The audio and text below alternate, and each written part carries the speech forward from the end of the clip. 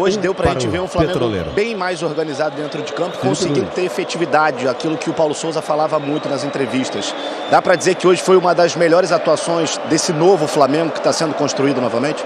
Olha, fizemos é, um bom jogo.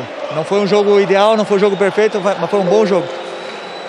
Tá difícil, desculpa com a máscara. É, mas nós temos muito que evoluir ainda. É, hoje a gente viu um time mais, talvez, concentrado, recuperando a confiança. Só, a confiança só vem com vitórias. Então a gente vê que no começo a bola escapava um pouco, depois a gente foi recuperando essa confiança. E, e a bola foi já. A gente foi sentindo melhor a bola no pé, os passes eles começaram a entrar e o nosso futebol ele veio naturalmente. Mas como eu falei, é um caminho longo, que temos muito que melhorar ainda e estamos no caminho certo. Dois jogos, duas vitórias 100% na Libertadores. Esperar daqui pra frente desse Flamengo nessa competição tão importante. Classificar, né? Temos que classificar. É, como, for, como seja, e entrar outra vez nas oitavas, colocar o time lá, que é super importante para o clube, para tudo que significa isso. E a partir daí a gente vai final a final, até, até chegar na final.